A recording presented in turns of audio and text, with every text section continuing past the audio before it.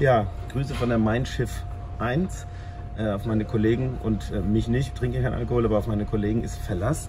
Ähm, die Crew hat hier die doppelte Menge Desperados äh, äh, an Bord geschafft wie sonst, was nach der Hälfte der Zeit alle war. Also man merkt, äh, wir funktionieren auf äh, die Kollegen ist Verlass. Das ist aber nicht der Grund, was ich sagen wollte.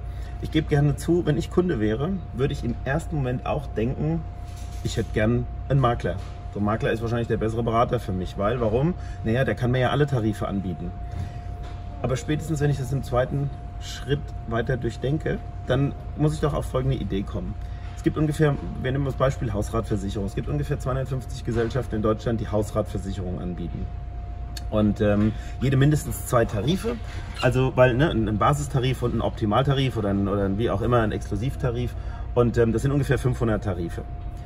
Und wenn ich jetzt überlege, wenn man so lange in der Branche ist wie ich, knappe 20 Jahre, dann weiß man ungefähr alle zwei Jahre bringen die einen neuen Tarif raus. Ein bisschen was kommt dazu, manchmal wird auch was Altes weggenommen. Irgendwie so ist das immer. Das heißt also, ich müsste allein im Bereich, oder ein, ein Makler müsste allein im Bereich der Hausratversicherung 5000 Tarife ungefähr kennen der muss die ja wirklich kennen. Es nützt auch kein Vergleichsprogramm was, weil ich muss ja auch meine Kunden kennen.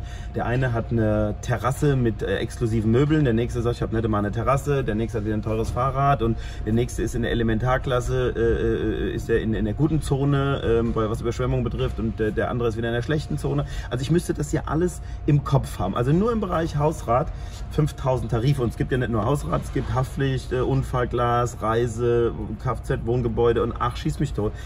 Das würde ja bedeuten, dass man so 30, 40, 50.000 Tarife im Kopf haben muss.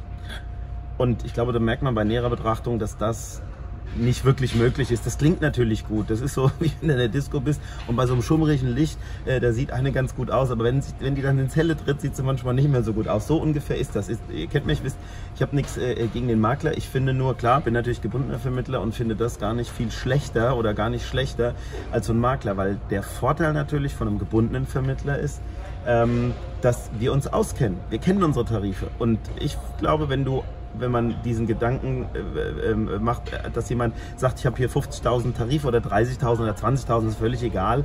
Äh, das kann gar niemand alles im Kopf haben.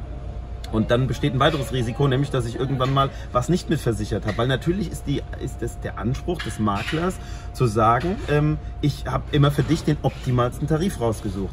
Und das Spannende bei einem Kollektiv ist eigentlich ein anderes. Das Spannende bei einem Kollektiv ist, dass du sagst, okay, komm, jeder zahlt 3 Euro mehr im Jahr oder 5 oder 15, ist völlig wurscht.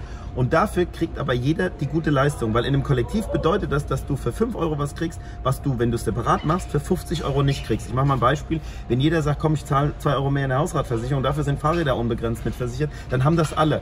Wenn du ein teures Fahrrad hast und würdest sagen, ich will das versichern, das würden ja dann nur die machen, die ein teures Fahrrad haben und die zahlen dann 50 oder 100 Euro für die gleiche Leistung. Und das ist das Spannende an einem Kollektiv. Und äh, na klar, alle, alle Vertriebswege haben ihre Vorteile. Ein Makler hat natürlich auch seine Vorteile. Ich mache mal ein Beispiel, so unsere Schiffsreise wie im Moment.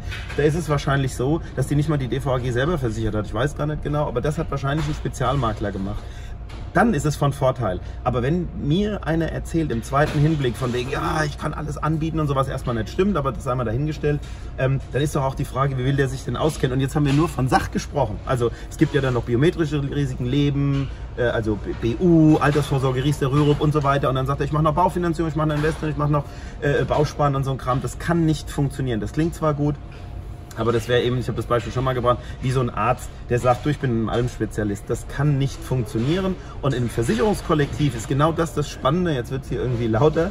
Äh, die ersten Kollegen scheinen so langsam äh, das Tageslicht wieder zu erblicken, nach viel Feiern.